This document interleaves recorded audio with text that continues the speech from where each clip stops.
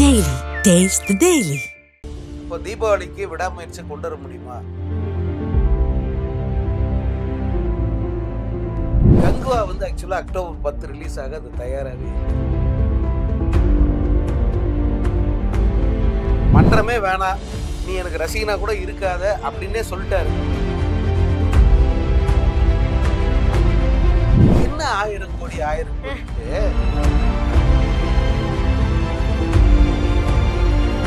ஓட்டு அப்படி அப்படிதான் சொன்னாங்க. கடைசியில் வெறும் வடையா போச்சு. செய்தியாளர்கள் அல்லது டிவி சேனல்கள் இந்த யூடியூப் இவங்க அவசரத்துக்காக அவங்க ஒன்றும் பண்ண முடியாது.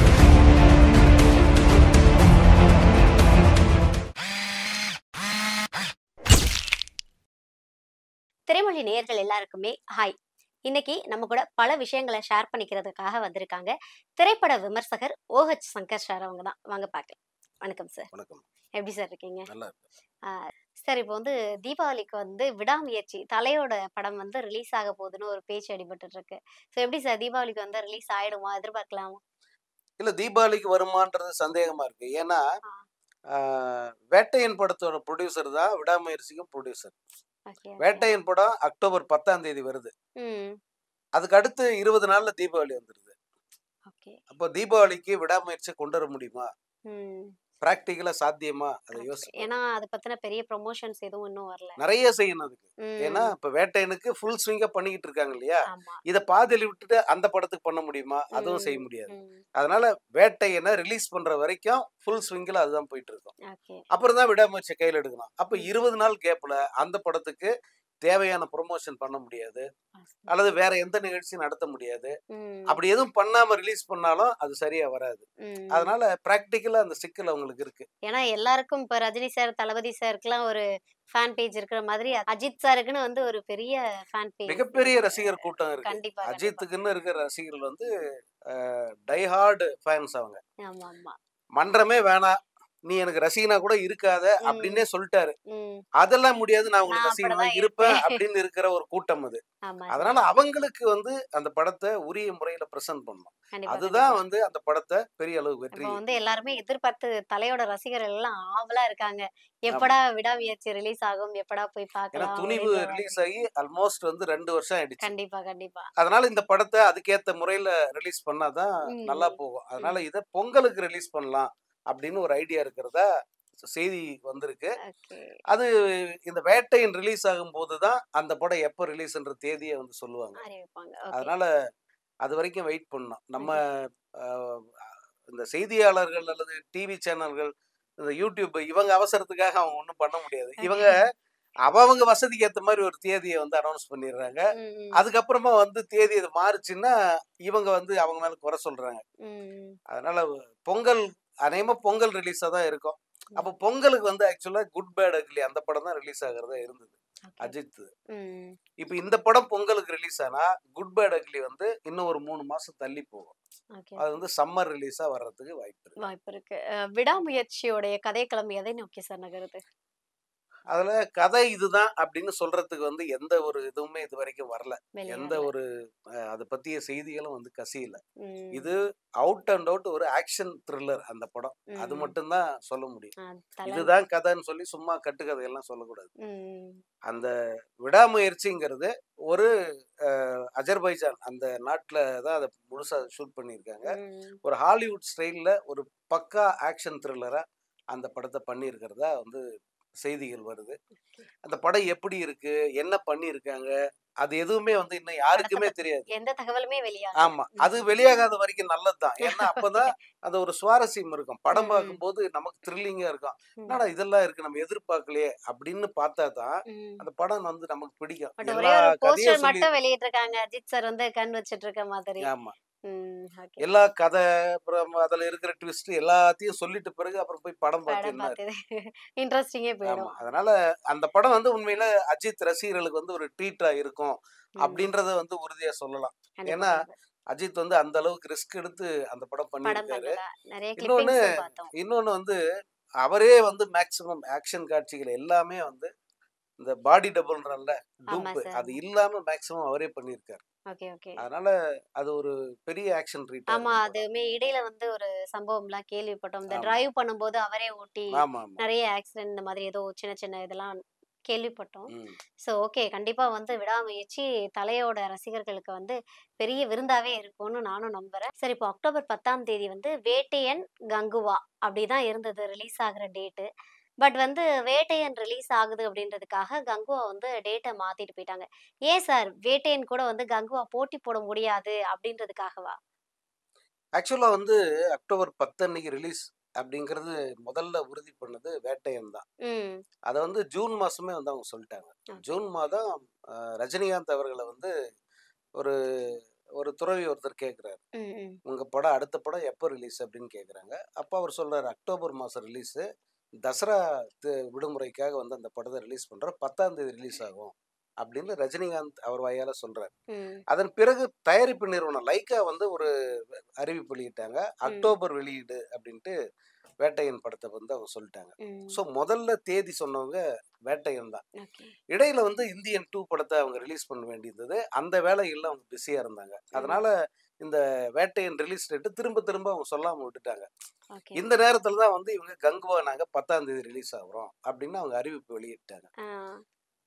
அந்த அறிவிப்பு வெளியாகி ஒரு ரெண்டு வாரம் கழிச்சு அவங்க திரும்ப வந்து பழைய அந்த ஸ்டாண்டே திரும்ப வந்து அவங்க சொன்னாங்க. லைக் நாங்கள் பத்தாம் தேதி வரோம். அது கன்ஃபார்ம் அப்படின்னு சொல்லிட்டாங்க. இதுல கங்குவா டீம் வந்து உடனே ரஜினி படத்தோட வந்து நாங்க மோத விரும்பல. அவர் வந்து சீனியர். அதனால அவருக்கு வழி விட்டு நாங்க மரியாதையோட ஒதுங்கி ஓகே. அப்படின்னு வந்து சொல்லிட்டாங்க. இது வெளிப்படையான காரணம். ம். ஆனா உண்மையான காரணம் என்னன்னா கங்குவா வந்து ஆக்சுவலா அக்டோபர் பத்து ரிலீஸ் ஆக அது தயாராகவே இல்லை. ஏன்னா படத்துல இன்னும் சில வேலைகள் முழுமையா முடியல. இன்னும் கூட வந்து அந்த படத்தோட விஎஃப்எக்ஸ் வேலைகள்ல முழு திருப்தி வந்து அவங்களுக்கு வரல அப்படின்னு சொல்றாங்க. அதனால அந்த வேலைகள் எல்லாம் சரி பண்ணிட்டு அவங்க நவம்பர் மாசம் அந்த படத்தை ரிலீஸ் பண்றதா இப்ப முடிவு பண்ணியிருக்காங்க. உண்மையில பல பேர் என்ன நினைச்சிட்டாங்கன்னா கங்குவா வந்து ரொம்ப ரஜினி மேல இருக்கிற மரியாதையால அவங்க விலகி போயிட்டாங்க அப்படின்னு நினைச்சிட்டு இருக்காங்க. ஒரு வகையில அது உண்மையா இருந்தா கூட உண்மையான காரணம் படம் முழுசா ரெடி ஆகல. ஏன்னா வந்து இப்போ வந்து பெருசா பேசப்பட்டுட்டு இருக்கு. கோட்டா இருக்கட்டும் பேட்டையனா இருக்கட்டும் இதெல்லாம் தாண்டி ஆஹ் மிகப்பெரிய பிரம்மாண்டமான ஒரு கதைக்களத்தோட வந்து கங்குவா ரெடி ஆயிட்டு இருக்கு அப்படின்னு சொல்லிட்டு எல்லாருக்குமே தெரியும். ஸோ அந்த படம் வந்து எப்படி உருவாகிக்கிட்டு இருக்கு? எந் எது மாதிரியான கதைக்களத்தை நோக்கி நகரும் சார் கங்குவா வந்து கிட்டத்தட்ட ஒரு மூணு வருஷமா அந்த படத்தை எடுத்துக்கிட்டு இருக்காங்க. கிட்டத்தட்ட ரெண்டு வருஷமா சூர்யா சாருக்கு எந்த ஃபிலிமும் இல்லை வேற. ஆமா. வேற படமே. ரிலீஸ் ஆகல. இந்த. படத்தை தான் அவங்க பண்றாங்க. இந்த படம் வந்து என்னன்னா ஒரு ப்ரீ ஹிஸ்டாரிக் பீரியட்ல ஸ்டார்ட் ஆகுது அந்த படம். அதுல ஆரம்பிச்சு இப்ப இருக்கிற இந்த நவீன காலகட்டத்துல வந்து முடியிற மாதிரியான ஒரு கதை அது. அதுல என்னன்னா அந்த ப்ரீ ஹிஸ்டாரிக் ஒரு ஒரு ஒரு ஐநூறு அறுநூறு வருஷத்துக்கு முன்னாடி ஒரு ஆரம்பிச்ச ஒரு மிஷன் ஒரு ஒரு வேலை. அது வந்து இன்கம்ப்ளீட்டா இருக்கு. அதை இப்ப இருக்கிற தலைமுறை எப்படி முடிக்குது அப்படிங்கிறது இந்த படத்தோட கதை. இது ஒரு. அவுட்லைன் ஆஹ் இதுக்கு வந்து நிறைய அவங்க சிரமப்பட்டிருக்காங்க. நிறைய ஷூட்டிங் எல்லாம் வந்து மிகப்பெரிய காடுகளில் போய் ஷூட் பண்ணியிருக்காங்க. கொடைக்கானல்லையே கிட்டத்தட்ட ஒரு மூணு மாசம் மேல எடுத்தாங்க. இந்த ராஜமுந்திரி பக்கத்துல இருக்கிற காடுகள்ல நிறைய ஷூட் பண்ணியிருக்காங்க. அதே போல இங்கேயும் செட் போட்டு வந்து மிகப்பெரிய அளவுல அதை ஷூட்டிங் பண்ணாங்க. செலவு வந்து பெரிய செலவு தான். கிட்டத்தட்ட முந்நூறு கோடி வரைக்கும் செலவு அப்படின்னு சொல்றாங்க. அந்த படம் அது தாங்குமான்றதெல்லாம் தெரியல. ஆனா பெரிய செலவு பண்ணியிருக்காங்க. எந்த நம்பிக்கையில அது பண்ணியிருக்காங்க. ஏன்னா சூர்யாவோட படங்கள் அப்படின்னு பாத்தீங்கன்னா அவருக்குன்னு ஒரு லிமிட் இருக்கு. இவ்வளவுதான். அவருடைய பிசினஸ் ஒரு ஒரு நூறு கோடின்னா ஓகே அது வரைக்கும் தான். தாங்கும் ம். அதுக்கும் மேல அப்படின்னும் போது வந்து ஓடினாதான் உண்டு இல்லைன்னா மிகப்பெரிய. நஷ்டத்தை சந்திக்கும் ஸோ. ஒரு நம்பிக்கையில அந்த படத்தை. அவங்க பண்ணிக்கிட்டு இருக்காங்க அது அந்த படத்துக்கு என்ன ஒரு பிரச்சனைனா நீங்க பெருசா விளம்பரப்படுத்தி பெரிய அளவு எதிர்பார்ப்பை ஏற்படுத்தி படம் வந்து எதிர்பார்த்த மாதிரி இல்லாம போச்சுன்னா பெரிய லாஸ் ஆயிடும் அது வந்து நம்ம பெரிய எதிர்பார்ப்பெல்லாம் ஏற்படுத்தாம இயல்பா விட்டு படம். பார்க்கும்போது நமக்கு ஒரு கூஸ் பம்ப் அதுல வந்து இல்ல பரவாயில்ல படம் நல்லா இருக்கே. அப்படின்னு ஒரு ஃபீல் வந்துருச்சுன்னா அந்த. படங்கள் தப்பிச்சுக்கும் இது இந்த கேட்டகரியில வர படங்கள் அதெல்லாம் கிட்டத்தட்ட ஹாலிவுட் ரேஞ்சுக்கு வந்து எடுத்துட்டு இருக்கதா ஒரு பேச்சுக்கள் அடிபடுது ஆமா நீங்க ட்ரெய்லர் பாத்தீங்கன்னா தெரிஞ்சிருக்கும் நல்லா நல்ல சிரமம் எடுத்து பண்ணியிருக்காங்க ம், அந்த அதுல எந்த அளவு சுவாரஸ்யமா இருக்கும் அப்படிங்கறது தான் நம்ம பார்க்கணும். ஏன்னா சிவா இதுக்கு முன்ன அந்த மாதிரி படம் பண்ணதில்லை. கண்டிப்பா. அவர் வந்து ஒரு கமர்ஷியல் அந்த இடையிலேயே வந்து நிறைய படங்கள் வந்து ஃப்ளாப் ஆயிடுச்சு. ஸோ அதனால சிறுத்தை சிவாவாவே இன்னும் அவருடைய ஜானி. வந்து போயிட்டு இருக்குது ஸோ அவரை நம்பி இவ்வளவு பெரிய படம் எடுக்கிறதுன்றதும் வந்து பெரிய பேசு ஆமா. பொருளா இது ஒரு. பெரிய பரிச்சயத்த முயற்சி தான். அதனால வந்து யாருக்கும் பெரிய நம்பிக்கை இல்ல. வரட்டும் பார்ப்போம் அப்படின்னு இருக்காங்க. அது நல்லதுதான். வரட்டும். பார்க்கலாம் அப்படின்னு இருந்து நம்ம போய் படம் பார்த்து அது திடீர்னு நல்லா இருந்துச்சுன்னு வச்சுக்கோங்களேன் அந்த மவுத் டாக் வந்து படத்துக்கு பெரிய அளவுல ஹெல்ப் பண்ணும். ஆரம்பத்துல வந்து ஒரு குறைந்த அளவு தியேட்டர்கள் ரிலீஸ் ஆனா கூட படம் நல்லா இருக்குன்ற டாக் வந்துருச்சுனாலே வந்து அதை நிறைய பேர் போட விரும்புவாங்க. படம். வந்து பிக்கப் போயிடும் கிட்டத்தட்ட இப்போ தமிழ்நாட்டுல பாத்தீங்க அப்படின்னா அந்த தமிழ் சினிமால வந்து ஆயிரம் கோடி அப்படின்றது வந்து ஒரு கனவாவும் கேள்விக்குறியாவுமே இருக்கு. இப்ப எல்லாருடைய பார்வையுமே என்ன அப்படின்னா கங்குவா வந்து கிட்டத்தட்ட ஒரு ஆயிரம் கோடியை ரீச் பண்ணும் அப்படின்ற மாதிரி பேச்சுக்கள்லாம் அடிபடுதே சார் என்ன ஆயிரம் கோடி ஆயிரம் கோடின்ட்டு ம், எனக்கு அது புரியவே இல்லை. ஏன்னா எப்ப வந்து அந்த அந்த டார்கெட்டை சொல்றோமோ அப்பயே வந்து நம்ம வந்து ஃபெயில் ஆயிட்டோம்னு அர்த்தம். Okay okay okay. அது நல்லா இருக்கு என் ப்ராடக்ட் நல்லா இருக்கு. இந்த படம் பேசும். எவ்வளவு வேணா அடிக்கும் அந்த படம். அப்படி. சொல்லி விட்டான்னா அது போய் நிக்குது. அதுதான் வந்து எல்லை. எவ்வளவு வேணா அந்த படம் வசூலிக்கும். நீங்க எப்பெல்லாம் இந்த படம் ஆயிரம் கோடி அந்த படம் ஆயிரம் கோடின்றீங்களோ அது அப்ப மண்ணுல விழுந்து புரளும் ஒண்ணுமே இல்லாம போயிடும். இந்தியன் டூவை இப்படித்தான் ஏத்தி விட்டு ஆமா, உசு கண்டிப்பா, பேத்துனாங்க கண்டிப்பா. ரணகலமா போச்சு அந்த படம். இந்த கோட்டை அப்படிதான் சொன்னாங்க. கடைசியில வெறும் வடையா போச்சு அது. அதனாலதான் வந்து ரஜினி படங்கள் ஆயிரம் கோடி ரெண்டாயிரம் கோடி எதுவுமே சொல்றது இல்ல அது சைலண்டா விட்டீங்கன்னா அது தானாவே வந்து சேர வேண்டிய இடத்துல போய் சேர்ந்துரும். Okay okay okay okay. Super sir. இப்போ பார்த்தீங்க அப்படின்னா கங்குவால்ல வந்து அந்த ட்ரெய்லர் பார்க்கும்போதே வந்து ஒரு மாதிரி பிரமிப்பா இருந்தது. ஒரு திகிலூட்டக்கூடியதாகவும் இருந்தது. ஒரே ரத்தம் சற்ற காட்சிகளா இருக்கட்டும் ஒரு மர்மமான ஒரு பார்க்கவே பிரம்மாண்டமா இருந்தது. ஸோ இதுல வந்து வில்லனா என்ட்ரி கொடுத்துருக்காருல்ல பாபி தியோ. அவரை பத்தி சொல்லுங்களேன். ஏன்னா அவரு அவருடைய வருகை அந்த ட்ரெய்லர்ல பார்க்கும்போதே அவ்வளவு சூப்பரா இருந்தது. ஆமா. பாபி தியோல் வந்து ஒரு ஃபண்டாஸ்டிக் ஆக்டர் ஆக்சுவலி அவர் வந்து பாலிவுட்ல நடிக்கிற காலத்துல ஹீரோவா நடிக்கிற காலத்துல வந்து ஒரு சாக்லேட் பாயா தான் இருந்தார். அவருடைய அந்த பழைய படங்கள்லாம் பாத்தீங்கன்னா ரொம்ப இளமையா ரொம்ப இந்த பிரசாந்த் எல்லாம் அந்த காலத்துல எப்படி இருந்தாரு. அல்லது இந்த விஜயே வந்து லவ் டுடே அந்த மாதிரி. படங்கள் காலத்துல எப்படி இருந்தாரு? அப்படி ஒரு சாமிங்கான ஒரு சாக்லேட் பாயா இருந்தார். ஆனா இன்னைக்கு வந்து டோட்டலா அப்படியே மாறி அதிரடியா இருக்காரு அந்த ஒரு அந்த ஒரு ரஃபியன் லுக்ல பாக்குறதுக்கே. வந்து ரொம்ப மிரட்டக்கூடிய ஒரு மிரட்டலான இருக்கு. ஒரு தோட்டத்துல இருக்காரு உண்மையிலே வந்து அந்த மாற்றம் ரொம்ப நல்லா இருக்கு இந்த. படத்துக்கு அவர் ஒரு மிகப்பெரிய அசட்டா இருப்பார் படம் நல்லா இருந்து நல்லா வந்திருந்தா. நிச்சயமா பாபி தியோல் வந்து ஏன்னா இந்த. மாதிரியான படங்கள்ல வந்து ஹீரோவுக்கு ஈக்குவலா வந்து வில்லனையும் பார்க்கக்கூடிய ஒரு சூழல் இருக்கு கங்குவால பாத்தீங்க அப்படின்னா கடைசியில வந்து கார்த்திக் சார் வர மாதிரி எல்லாம் ஒரு சீன் இருக்குது சோ வந்து கங்குவாவுக்கு அடுத்த பார்ட் இருக்குதா? அதுல வந்து கார்த்திக் சார் ஆக்ட் பண்ற மாதிரி எல்லாம் நிறைய பேசிட்டு இருக்காங்க. மேபி அது இந்த படம் சக்சஸ் ஆயிடுச்சுன்னா நிச்சயமா அடுத்த பாட்டுன்னு சொல்லுவாங்க.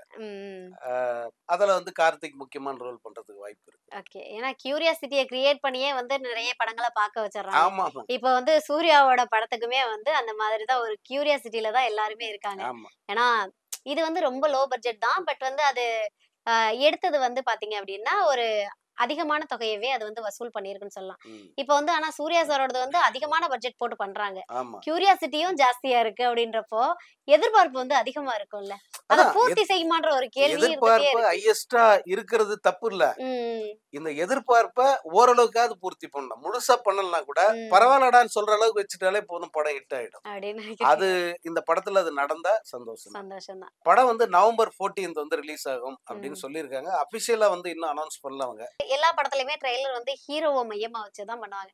பட் இந்த ட்ரெய்லர் பாத்தீங்கன்னா ஃபுல்லுமே வந்து இந்த வில்லன் சார் அவங்களுடைய கதாபாத்திரம் தான் அதிகமா காட்டப்பட்டிருக்கு. ம். ட்ரைலரே வந்து ரொம்ப ஏர்லியரா வெளியில விட்டுருக்காங்க அப்படின்றதே வந்து பேசு பொருளா இருக்கு. எதனால? ஆக்சுவலா வந்து கங்குவாவோட ரிலீஸ் டேட்டே வந்து பலமுறை தள்ளி தள்ளி போயிருக்கு. ரெண்டாயிரத்தி இருபத்தி மூணுல இருந்து அவங்க ரிலீஸ் டேட் சொல்றாங்க. அப்போ சம்மர் ரிலீஸ்னாங்க சம்மர்ல படம் ரிலீஸ் ஆகல. ஏன்னா அதனுடைய அந்த கிராஃபிக்ஸ் வேலைகள் முடியல. அதனால தள்ளி போகுதுன்னாங்க அதுக்கப்புறம் ஆகஸ்ட் ம். ஆகஸ்ட்ல அஹ், ஜெயிலர் படம் ரிலீஸ் ஆயிடுச்சு. அதுக்கப்புறம் அக்டோபர்ல ரிலீஸ் பண்றேன்னாங்க. போன வருஷம் அக்டோபர்ல ரிலீஸ் அப்படின்னாங்க. கரெக்டா அந்த டைம்ல தான் லியோ ரிலீஸ் ஆச்சு. அதுக்கு அடுத்த தேதிகள்ல படம் ரிலீஸ் ஆகும் ரிலீஸ் ஆகும்னு மூன்று தேதிகள் சொன்னாங்க. எங்கேயுமே அப்போ ரிலீஸ் ஆகல. காரணம் என்னன்னா அந்த படத்துக்கு இந்த கிரா விஎஃப்எக்ஸ் வேலைகள் வந்து திருப்தியா வரல அப்படின்ட்டு அதுக்கே பல காலம் வந்து அவங்க எடுத்துக்கிட்டாங்க. அதுக்கப்புறம் தான் இந்த வருஷம் அக்டோபர்ல ரிலீஸ் பண்ணாங்க இந்த வருஷம் கூட சம்மர் ரிலீஸ் அப்படின்னு தான் முதல்ல சொன்னாங்க. அது வந்து வரல. தங்கலானும் சம்மர் ரிலீஸ்னு சொன்னாங்க. அதுவும். வரல. இப்படி போஸ்ட்போன் ஆகி ஆகி இப்படி வந்துருச்சு. அதனால தான் வந்து அவங்க ஐடியாவே இல்லாம அந்த ட்ரெய்லர் ரிலீஸ் பண்ணாங்க இப்போ அக்டோபர் பத்து அப்படின்னு அவங்க மனசுல வச்சிருந்தாங்கன்னா. ட்ரெய்லரை அதுக்கேற்ற மாதிரி தான் ரிலீஸ் பண்ணுவாங்க. அப்படி ரிலீஸ் பண்ணாங்க இப்போ தேதி தள்ளி போயிடுச்சு அதனால ட்ரெய்லர் பழசாகி போச்சு ஸோ திரும்ப இன்னொரு ட்ரெய்லரோ டீசரோ. அல்லது ஆடியோ லான்ச்சு இப்படி ஏதாவது ஒன்று வச்சு படத்துக்கான அந்த ஒரு பரபரப்பை கிளப்பி அப்புறம் தான் அதை ரிலீஸ் பண்ண முடியும். ஏன்னா கங்குவா மாதிரி படத்தை எல்லாம் சாதாரணமாகவும் ரிலீஸ் பண்ண முடியாது. பெரிய எதிர்பார்ப்பை கிளப்பணும்னா அதற்கான வேலைகள் ப்ரமோஷன் பெருசாக கண்டிப்பா, ஹெவியாக. செய்யணும். அதெல்லாம் செஞ்ச பிறகு தான் அதை ரிலீஸ் பண்ண முடியும். அவங்க சொன்னாங்கல்ல அக்டோபர் பத்துன்னு. அக்டோபர் பத்தில் அவங்க சொன்ன மாதிரி அந்த படத்தை ரிலீஸ் பண்ணிருக்க முடியுமா. ஏன்னா அந்த படத்துக்கான எந்த எக்ஸ்பெக்டேஷனுமே இல்லை. பெருசா எதுவுமே இல்ல. ப்ரொமோ எதுவுமே இல்லை. ஏன்னா அவங்களுக்கு ரிலீஸ் பண்ற ஐடியாவே இல்லை அந்த தேதியில. அதனுடைய விளைவு தான் எதுவுமே பண்ணாம சைலண்டா இருந்தாங்க. இப்போ நவம்பருக்கு தள்ளி போட்டிருக்காங்க. அதுக்குள்ள இந்த வேலையெல்லாம் பண்ணி பெருசா அந்த படத்துக்கான எதிர்பார்ப்பை அவங்க கிரியேட் பண்ணணும். பண்ணலாம் திரும்ப கூட தள்ளி போகும். ஒரு எதிர்பார்ப்பு இல்லாத ஒரு தட்டையான ஒரு சூழல்ல படத்தை ரிலீஸ் பண்ண முடியாது இல்ல. அதனால இது கடைசி தேதியா இருக்கும் அப்படின்னு நம்பலாம். Okay super sir super. இப்போ கங்குவா பத்தி நிறைய அப்டேட்ஸ் கொடுத்துருக்கீங்க.